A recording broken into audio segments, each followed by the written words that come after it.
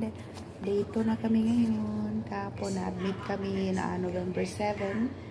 And then ngayon is November 8. And kami wala kami makeup. Si mama walang makeup, walang kilay.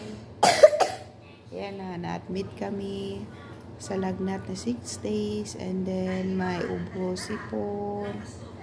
Uh, say hi to my ano vlog 30 ayaw niya maya siya eh. Kami lang dito. Kasi umuwi man si daddy dyan doon sa bahay kay para kay kuya Gus at saka kuya dad Ayan, kami lang dito.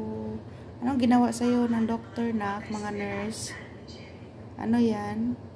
Tinusok siya ng karayom. Tsaka nakadextra siya. Yeah Kahapon na-admit kami dito sa Santa Rosa Medical Center. Ayan, 30. 30. Ayan niya, wala siya sa mood. Ay, gusto niya umuwi.